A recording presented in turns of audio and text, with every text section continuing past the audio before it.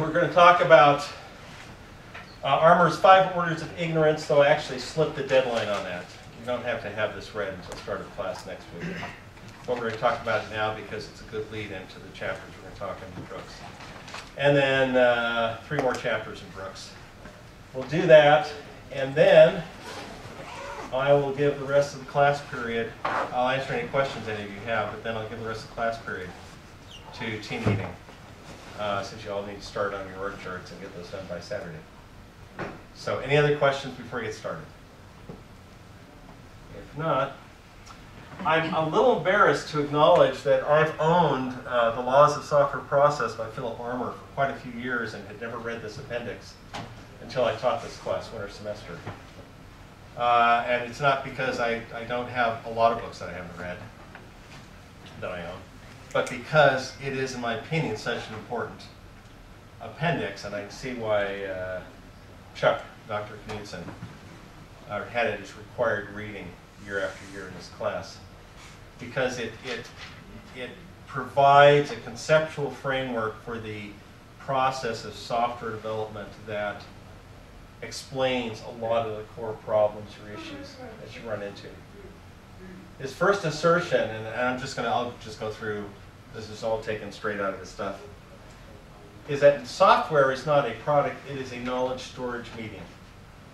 When you're writing software, you're basically gathering knowledge and embodying it in something that will then act on that knowledge.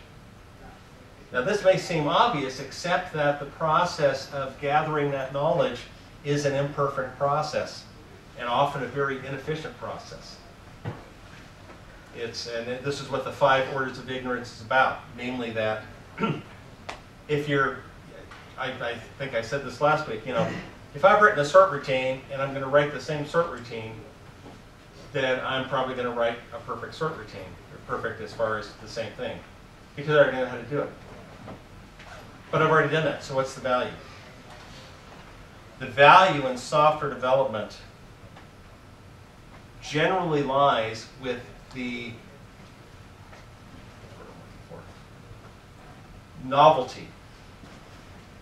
You are doing something that either hasn't been done before, or you're doing it in a new and different way, or you're trying to displace an existing technology, and so on.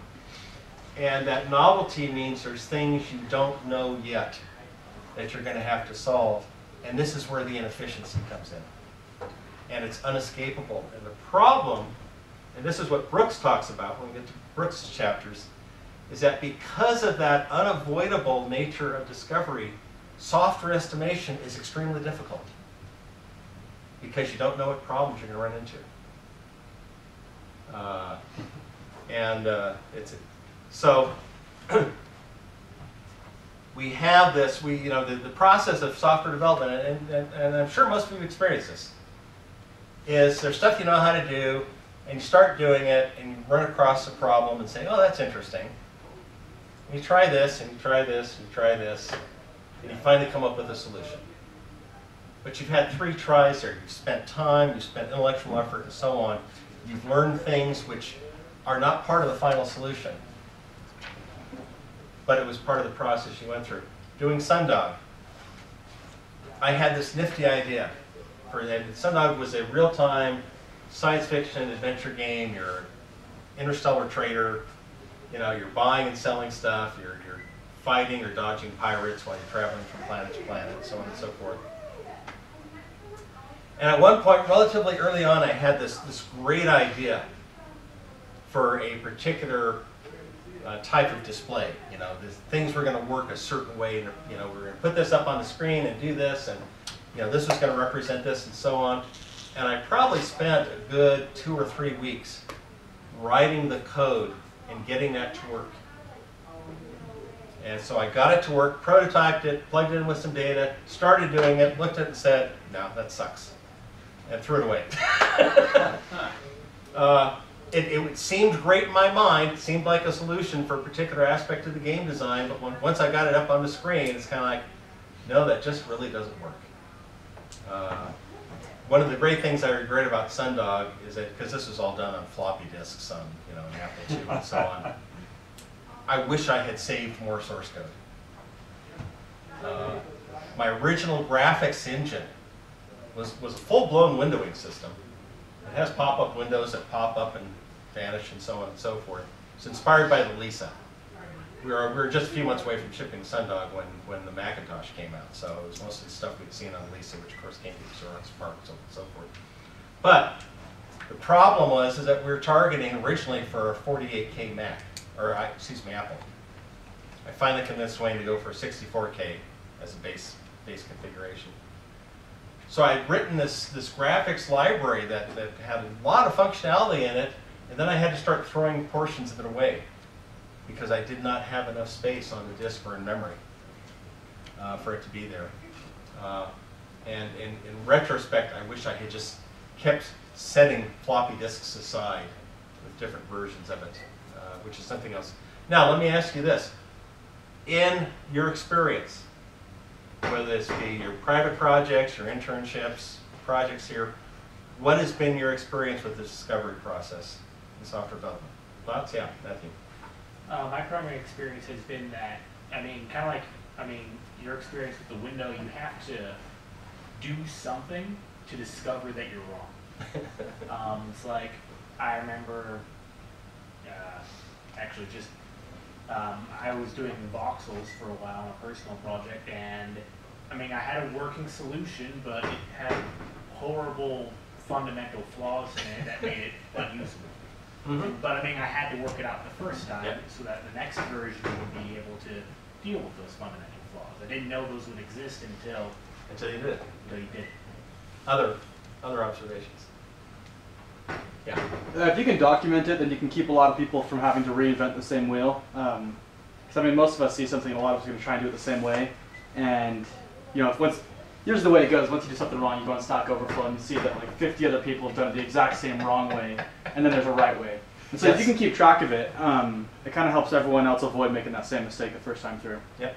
Which is, by the way, one of the reasons, we touched on this, I think, last week, why personnel uh, turnover can be so devastating. Because you lose people who have done things the wrong way and they know what not to try. And you hire someone new on and they go through and basically go through the same learning process all over again and make the same mistakes. And sometimes they don't learn as quickly. Other thoughts? Any? Yes. Well, one thing I've learned, I've worked at BYU Archaeology doing app development there, so there's a huge gap because they've been, you know, using paper and Yeah. and Oh, yeah.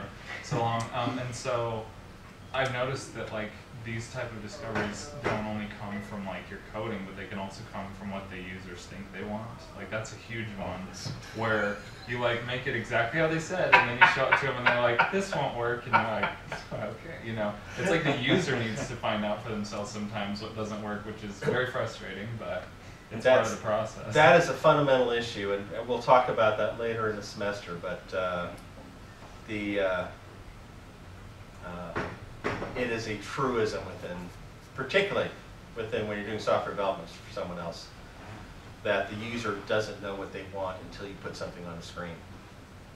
And they say, "Uh, I don't like that.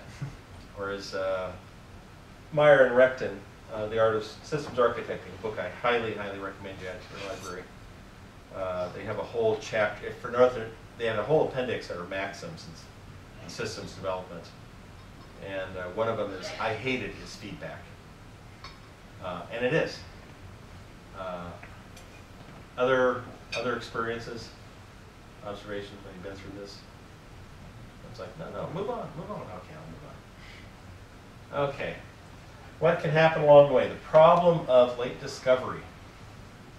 Uh, oh man, this is this is a real problem where you get the, the as, as we talked about some last week. There is a temptation to go for all the low-hanging fruit.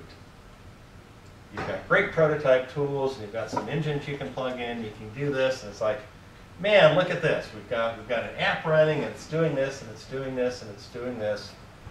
And you've done all the easy stuff, and you get uh, a long ways away, and suddenly you run into a hard problem. And you realize, as we talked about last week, this blind alley, you've gone down a blind alley, and you've got to back up, and you've got to back up a lot. And it's really hard to explain to management why you have to back up. Trust me. It's like, okay, we, we tried the solution and we've just reached an inherent limit. We cannot get the throughput. You know, we're, we're, we're using a particular third-party software or we're doing this particular algorithm and we've discovered that it will not scale to what we need. We have to have a different solution. Uh, projects, those are icebergs that projects hit all the time. Uh, one of the things you'll be doing in reading one of my articles is do not defer the difficult in IT projects. And this is such a temptation because you want to be making progress, you want to be reporting progress, it makes you feel good about yourself. It's hard to tackle the hard stuff right in front. Uh, and as per, I think, comments that both of you made, both Matthew and uh, Nicole, knowing what doesn't work can be as valuable as knowing what does work. You know, you go in and do something, it's kind of like, oh, they, this doesn't work, this doesn't, this, this is the classic Thomas Edison quote. You know, I, I now know 10,000 things that won't act as a filament for an incandescent bulb. Uh, and the problem is, is the knowledge of what doesn't work is often discarded. And when people come back later, either because of turnover or because something has gone into maintenance, they look at it and say, well, gee, they didn't do this. This would have been real easy. Let's go do this. And they go diving down a rabbit hole and discover for themselves why it doesn't work. I like this idea of corrupted knowledge. Uh, this, this, this also reflects what's commonly called technical debt, which is often your shipping code has bad stuff in it that are artifacts of approaches you took either just to get it out the door or because you didn't have time to go back and clean stuff up. yeah. This is actually uh, kind of a funny problem I'm running into right now in my workplace, and, and so I wanted to share.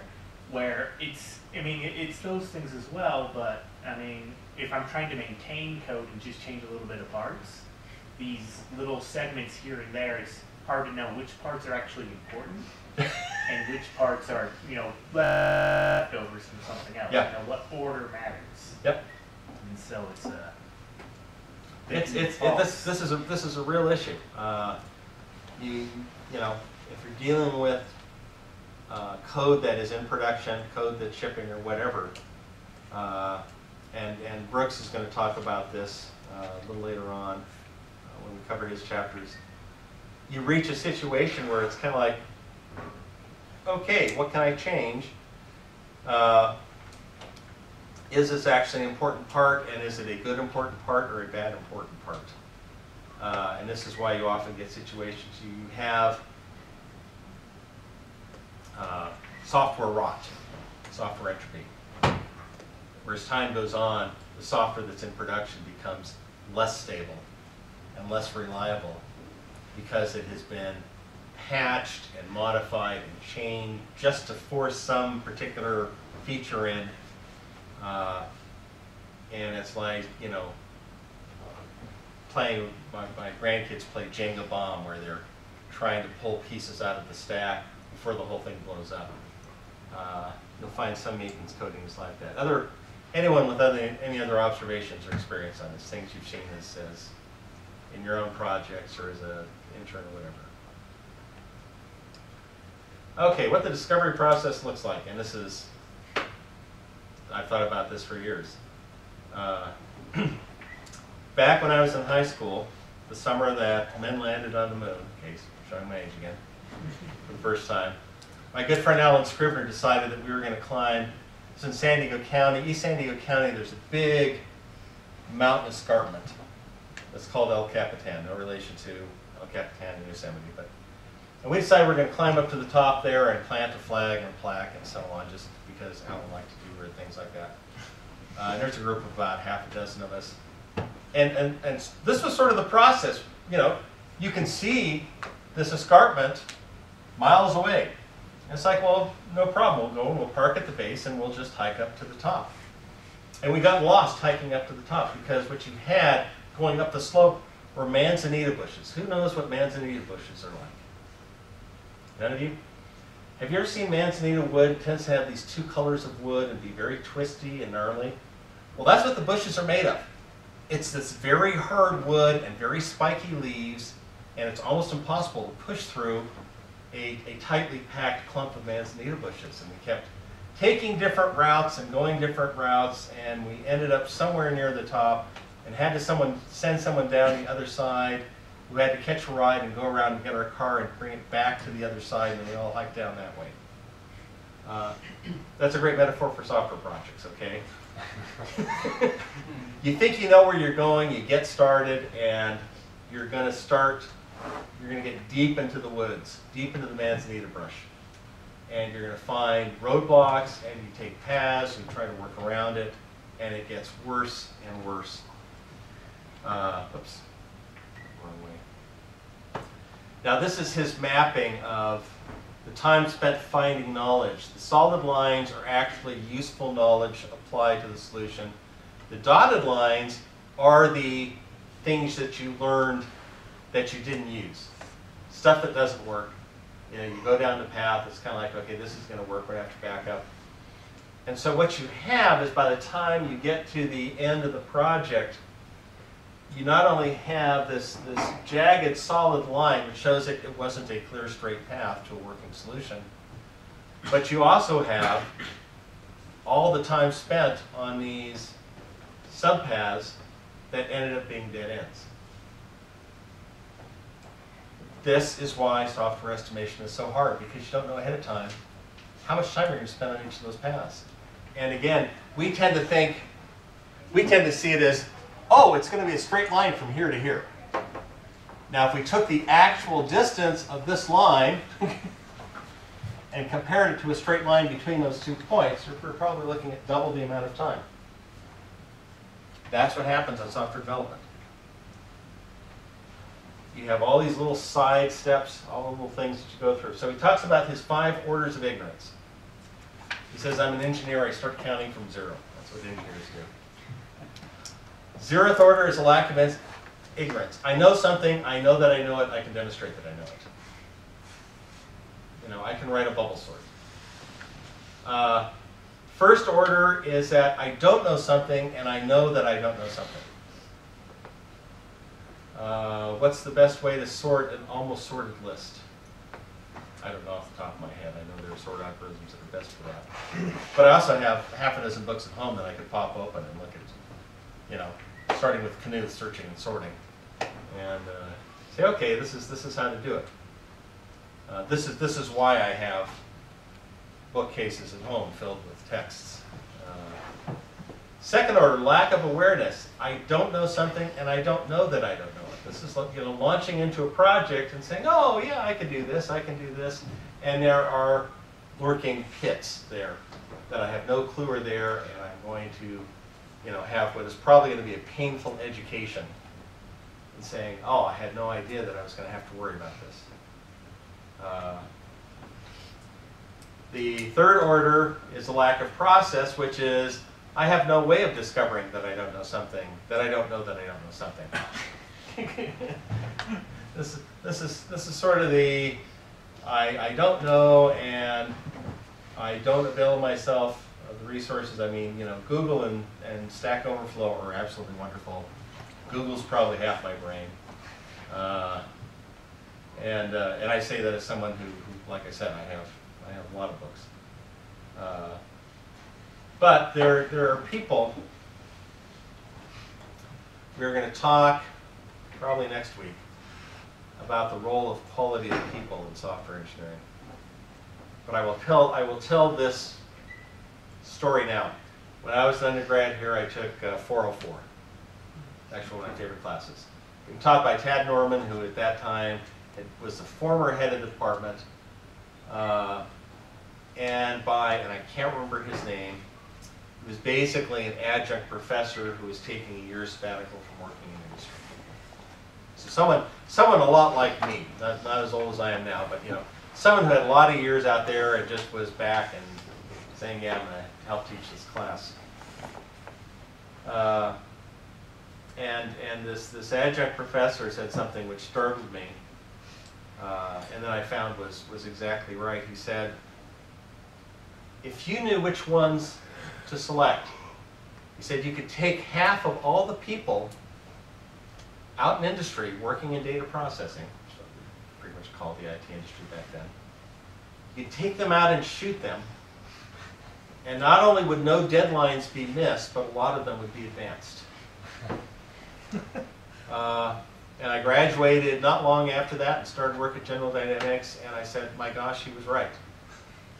Uh, one of the first pieces of code I had to look at and do something with was about a hundred line routine written in Fortran that had 20 go-to jumps in it. And I looked at this and thought, what, what, is this, what did this person do? Does this person even understand what they're trying to do? Uh, and one of the themes that we'll hit upon on, out there is that there is such demand for IT workers. I know it won't feel like it at times when you're job hunting or between jobs, but there is such demand at IT workers that it acts as a giant vacuum and sucks a lot of people into IT who frankly don't have the skills or education uh, or talent to be there. And so, and usually the, the HR managers can't distinguish. And so you get a lot of people hired and, you know, you have, you'll, you'll walk into an IT organization, you'll quickly say, here are half a dozen people who are really sharp on their game, know what they're doing, and here's another half dozen who you basically are running around putting out fires behind them. Uh, go, go read uh, uh, WTF.com. Uh, you'll get the stories there from, from all those things. And fifth is you don't know about the five orders of ignorance. You all do, so you know you're all, actually, you're all, no, you are, are, are no longer subject to third or fourth. You know what that, all that is. And, uh, but you're going to deal with the first, the zero, first, and second through your career. So apply to software development. Zeroth order, I know how to complete the system. I know exactly what needs to be done. No surprises. First order, I know what I need to know, what I need to figure out to complete the system. I have to make this work, I have to make this work, I have to figure out how to do this. This has to get done in this amount of time per cycle, and with that I can complete the system. Second order, I don't know yet what I will need to know to complete the system. That's where all of you are at with your project right now. Uh, at, at the very best, you're at second order because you're all taking new projects you don't know yet everything that you're going to need to know to complete the project. That's part of the discovery process you're going to be on. The third order is I don't know how to discover what I need to know to complete the system. That's a lot of what this class is about. It is the software development process.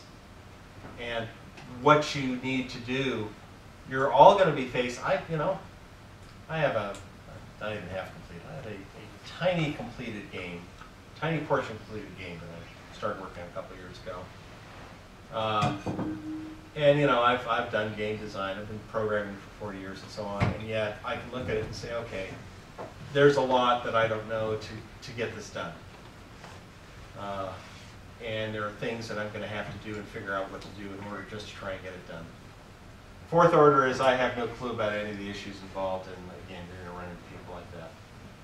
So he has a uh, order of ignorance cycle. You're going to read it so you can talk about it. Basically, this is part of the iteration in software.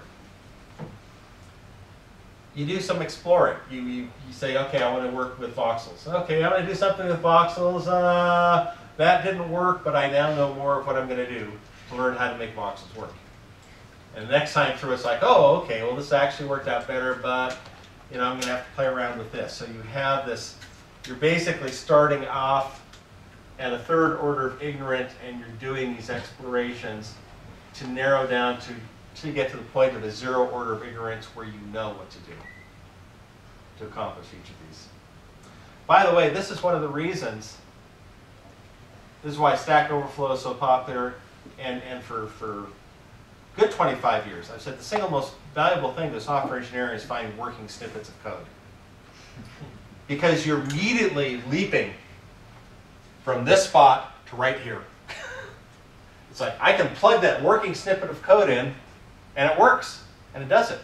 Okay, now I can step back and say, okay, now I want to make it do this, and you've just short-circuited a major aspect of the software development project. Uh,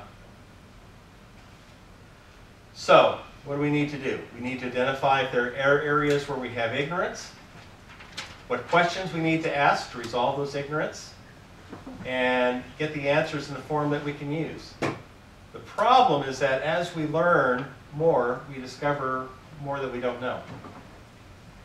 I mean, that's, that's you know, sort of your classic, uh, the older I get, the less I know situation because you say, oh yeah, I know how to do X, Y, and Z, and then you start doing stuff, it's like, well, there's a whole other body here of stuff I don't know. I mentioned that I've worked, I worked uh, at ARINC on the Iridium satellite project. They were doing the network management system. Now, this is not Ethernet network management. This is a whole other type of network management. ASN.1. I don't know if any of you had exposure to that sort of stuff. At that point, I had been programming for 20 years. I'd been out in industry uh, for over 15 years, and I literally had never heard of this stuff. Uh, fortunately, it wasn't incumbent upon me to code, but I was having to work with the engineers, the, the actual network engineers, as well as developers. So what did I do? I went out and bought five books, which I still own, on this type of network management and started reading, learning, learning about all this stuff. Uh, the, he, he, he says problem is that, you know, first we, we learn how much we don't know as we learn. We don't have a way of empirically measuring knowledge. How much information is actually in a book? You know, can you, can you quantify that? Well, no, because it's in sort of a postmodernistic way it's how much does the knowledge there vary from what you know or what you think you know. Uh, Claude Shannon's one of his the father of information theory. One of his famous theorems is that the value of information is inversely proportional to its probability. Uh, if I tell you the sun's going to rise tomorrow, that's not a very valuable piece of information. If I tell you the sun's not going to rise tomorrow, that's true. That's an extremely valuable piece of information. okay. and this last point here is a critical measure of knowledge in software is that of the knowledge not in the software. This gets back to the whole issue of things that you have discovered that don't get implemented, but that sort of carve off all the areas where you don't have to explore because that's not where you're going to find a solution. And this is why, you know, for, for and we've, hammered on this several times, when someone picks up a piece of software they haven't worked on, unless they have some grasp of all the knowledge that isn't in the software, of all the dead ends, of all the failed attempts, of all the things that didn't work, uh, they're going to introduce inefficiencies and possible defects in their attempt to modify this stuff. Any thoughts, experiences, relevant stuff? You're all looking tired. Stay with me, guys. Okay. Absorbing so much knowledge. Yeah. Oh.